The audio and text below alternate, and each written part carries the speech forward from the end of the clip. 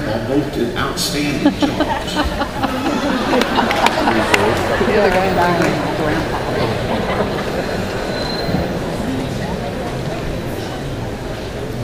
Travis, I think he's blown it already. Huh? He's got it blown already, I think. I'll let up just one more notch. Between the other two, I think. Oh, yeah. Unless this horse just blows away when it gets high. Those of you that are students, aficionados of horsemanship,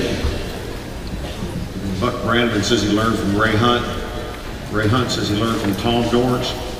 Tom Dorrance says he learned from the horse. I had a few privileges in my lifetime to be around Tom Dorrance. And he'd say, after playing with your horse and doing some different things, he'd say, you know, just take him for a little tour, son. Just take him for a little tour, boys. And just give that horse an opportunity to kind of go out there and, and get reacclimated to his surroundings and, and have a moment to soak on what's going on.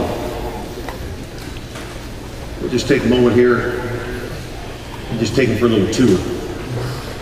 A lot of new stuff in here. We're at a little bit of advantage because they turn these colts out every day